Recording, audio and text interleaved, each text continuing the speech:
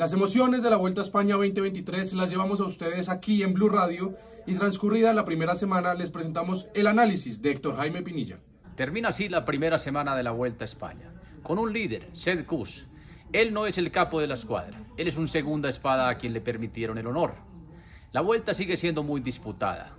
En esta carrera está el campeón del mundo Renko y actual campeón de la Vuelta a España que sigue siendo favorito. Está Vingegaard, que ganó la Vuelta a Francia recientemente y quisiera ganar en el mismo año la Vuelta a España. Está el Gran Roglic, que quisiera acumular su cuarta Vuelta a España para igualar a Roberto Eras. Estos corredores son los más grandes.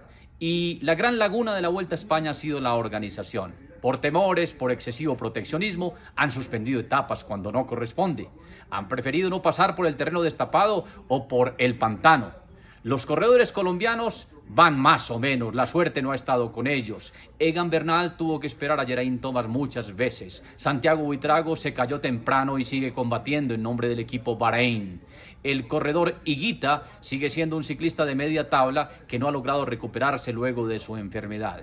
La siguiente semana de la Vuelta a España va a esclarecer muchas cosas. El martes próximo tendremos contrarreloj individual de 25 kilómetros, en la cual es favorito Renko, claro que sí. Y después el viernes vendrá el Tourmalet, ese que recuerda a Colombia por José Patrocinio Jiménez, el escalador de oro, que entregará una de las primeras victorias a nuestra queridísima nación. Vuelta a España 2023, llena de estrellas y llena de dudas en la organización.